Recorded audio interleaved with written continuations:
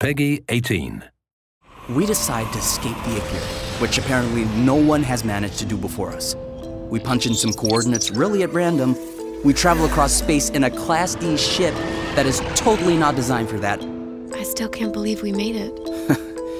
Yeah, the odds weren't in our favor. This planet is our chance to start a new life with our own rules. We can decide whatever we want, and no one can tell us otherwise. Fusion dislocated. Arrest in progress. Ah! You stay away! Any other takers? I was pretty sure the council would try to bring us back to the apiary, but this seems over the top. I hope this is only the beginning, and that I'll have many more chances to almost die with you. Aren't you a charmer? To us. To us. Woohoo! Move it, Muffin!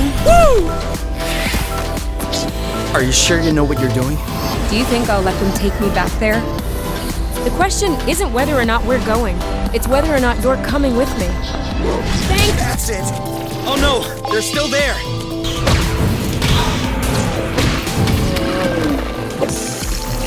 You know they will eventually catch us. But until that time arrives, we'll be alive. Together. That's why I'm here, with you. I want to be with you. To spend the rest of my life with you.